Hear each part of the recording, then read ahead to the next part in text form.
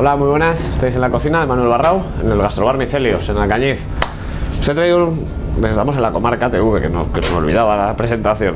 Eh, os he traído un plato muy oriental. No el plato, sino un ingrediente. En este caso son unas virutas de atún, que es un atún seco, fermentado y ahumado. Es muy parecido a la mojama que digamos tenemos aquí en España, ¿no? que aquí en el Maestrazgo se seca muy, ricamente. Si os fijáis son muy finas, prácticamente parece incluso serrín y la verdad que son muy aromáticas, tienen mucho sabor. Esto se llama katsuobushi, concretamente, virutas de atún seco, para entendernos un poco en castellano. Y vamos a hacer un arroz, en este caso un arroz vivo. ¿Por qué? Porque va a bailar, vais a ver que se mueve. Y es muy sencillo, se preparan unos ingredientes que son muy sencillos. Un poco de gamba, unas gambitas que ya las hemos partido a la mitad, un poquito de cebolla pochada, simplemente pochada, la podríais sofreír en el instante, pero si tenéis ya pochada, pues genial. Un poquito de salsa de soja, un poquito de crema de leche, arroz blanco ya cocido y un poquito de aceite de oliva. Y por supuesto, el katsubushi. El katsubushi, para que lo corten tan fino, hay una máquina que sería parecida a un cepillo de carpinteros, que es el katsubushi kerizaki. Digo para que os suene un poquito, ¿vale? Y dependiendo un poco del grosor que nos corten las láminas, estas son muy finitas, o que sean más gordas. Hay unas que son el katsubushi kerizikatsuo, que serían más gorditas que estas, y estas son las hanakatsuo. Luego porque a veces diferencian, por si miráis en páginas orientales, que dentro del katsuobushi hay dos tipos. El finito, que sería este, que es el kanakatsuo, que es un poquito más ligero, y el otro que se utiliza para hacer la salsa, bueno, el caldo dashi, que es un caldo de muchas preparaciones japonesas, junto con un alga que se llama kombu.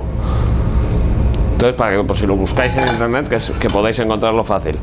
Un poquito de aceite, y ahora vamos, ya veréis que sencillito. No le vamos a poner sal porque lleva salsa de soja y ya sabéis que con la salsa de soja hay que ser un poco prudentes siempre con la sal. Vamos a sofreír un poquito las gambas. Voy a dejar aquí para poder apoyarnos un poquito. Y la cebolla. La cebolla, ya os digo, está pochada, simplemente cortada juliana esta, pero podréis hacer picaditas, sofreírla en el momento, incluso utilizar cebolleta fresca. Ahí os dejo un poco a vuestra idea. Yo os hago una receta muy básica para que aprendáis un poquito sobre todo conocer ese, ingrediente y de una manera de aplicarlo dentro de todas las que tiene. También se utiliza como condimento, condimento en ensaladas, condimento para alinear el tofu con un poco de jengibre.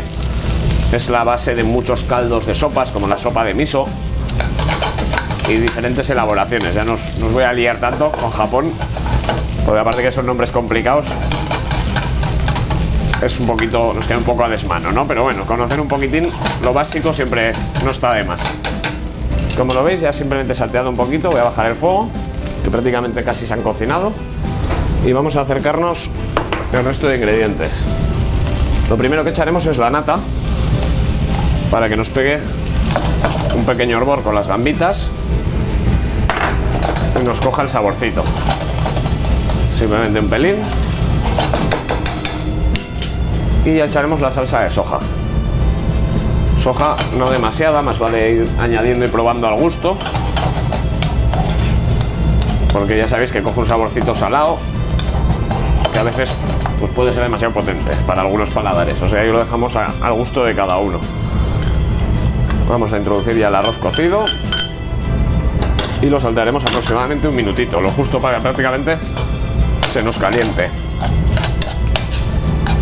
Se nos va a quedar un poquito cremoso, no, no en exceso. Como veis, enseguida lo coge. Lo que sí que tenemos que dejar que coja un poquito más de calor. Entonces lo vamos a bajar al mínimo. Y vamos a un pelín más de salsa de soja, que lo veo muy blanquito. Y así nos quedará un pelín más gustoso.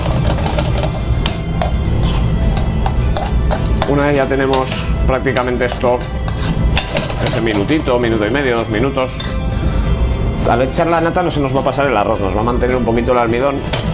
Entonces no habrá ningún problema en que lo tengamos un pelín más. Sí que se nos va a secar, que tampoco nos interesa que se nos seque del todo, puesto que necesitamos el vapor.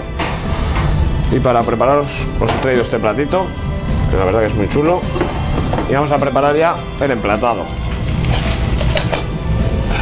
Simplemente colocaremos el arroz, sobre todo con las gambas, que no se nos olviden, sea de en la sartén que sea arroz, que las gambas ya sabéis que están muy buenas y es una pena dejarlas.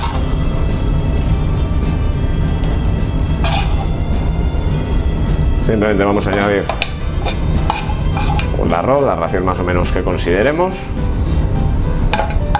Con las gambitas, que no se nos olviden. Y una vez tenemos esto, ya a la vista del cliente o del comensal en casa, vamos a añadir unas virutitas de este atún tan gracioso, ¿no? Que llamamos katsubushi. Virutas de atún seco que recuerdan a la mojama.